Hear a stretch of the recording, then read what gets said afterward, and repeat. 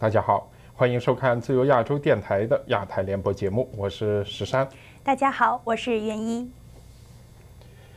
汶川地震灾区北川县的五十二位村民日前到国家信访局请愿，但遭到当地解访人员拦截、关押及殴打。请看自由亚洲电台特约记者乔龙的采访报道。四川地震后，官方一再宣称救灾善后的功绩，但地震三年多后，仍有许多灾民因官员贪腐而未得安置，他们抚经诉冤后遭打压。北川县是汶川地震的重灾区，雷鼓镇和永昌镇的数十位村民代表近期到北京上访，遭到解放人员骚扰。村民黎元翠说：“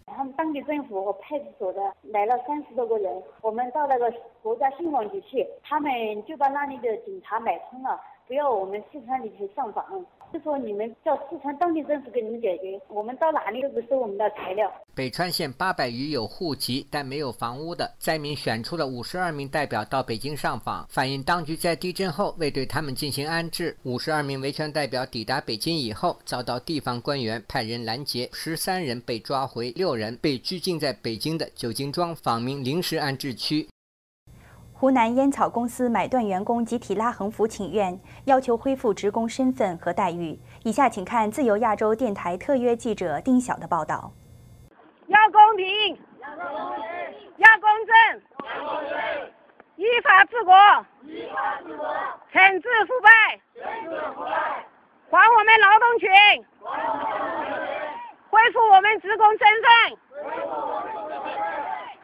五十多名分别来自郴州和永州的烟草买断工人代表聚集在湖南省烟草总局门前请愿，他们拉起“还我工作，还我职工身份，尊重工会法，尊重劳动法”。惩治腐败等标语，这些维权工人在烈日下等到下午，没有领导接见，而是警察的强制驱散，分别被解访人员强行带离现场。回到地方后，郴州的何艳平及杨小鹏被处以治安拘留十天的处罚，另外永州的胡日升等四人被处以行政拘留十天以及五天不等。湖南郴州市及下辖多个县三百名烟草公司员工，零四年被强迫以一万到两万元不等的一次性买断，其后物价飙升，眼看着烟草公的工资一级级提高，而自己的岗位被领导亲戚朋友顶上，这些买断员工感到强烈不公，开始了集体上访。外界对赖昌星的案件再度关注，有媒体报道说，赖昌星目前正被秘密审讯。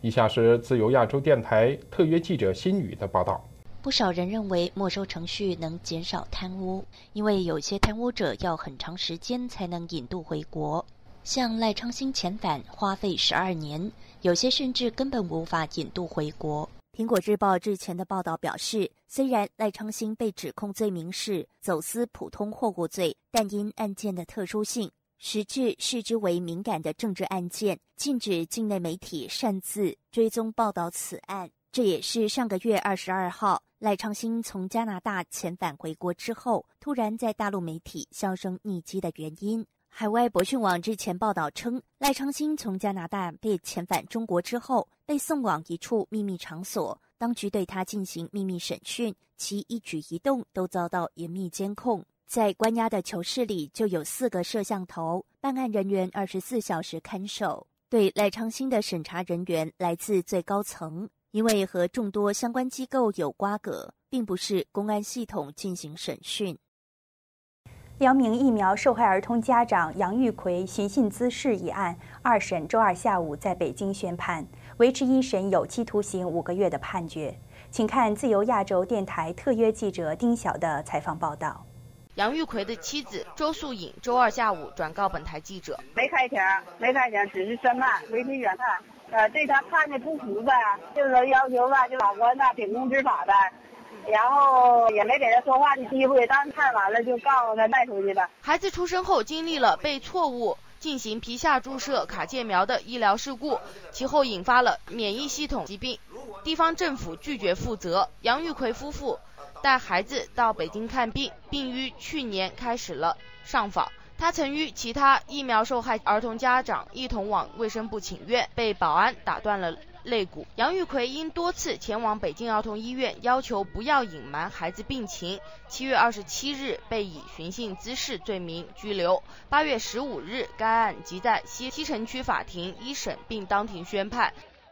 第一届中国与亚欧博览会开幕式星期三晚在乌鲁木齐的新疆人民大会堂举行，当地保安措施严密，许多商铺被迫停业。以下请看自由亚洲电台驻香港特约记者乔龙的采访报道。一位市民当天告诉记者，在迎宾路和苏州路那一带，下午的时候，警车一辆一辆，警笛一直在响。在互联网亚星社区，有网民说，前一天晚上直升机也在天上盘旋，每五分钟一趟，早上六点才睡着。也有网民对当局大张旗鼓的过度维稳非常愤怒。对于民航管理局要求，八月二十七日二十三时至九月七日，乌鲁木齐国际机场及喀什、库尔勒、阿克苏、和田、伊犁等机场均暂停收运各类货物含邮件。乌市国际大巴扎等出售民族商品的店铺当天被勒令停业一天。市民告诉本台，室内气氛明显紧张，连酒店门外都有特别措施。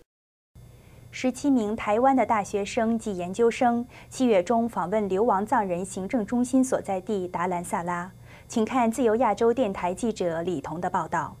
七月中，台湾图博之友会组织的达兰萨拉访问团，十七名参访团员。分别来自台湾清华、成功等不同大学，在两个星期的行程中，这群大学生先参观了藏人中央行政机构、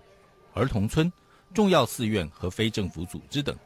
会晤达赖喇嘛是青年参访团形成的另一个重点。团员梁贝玉简介了参访团向达赖喇嘛提出的三个问题：第一个问题，什么是爱？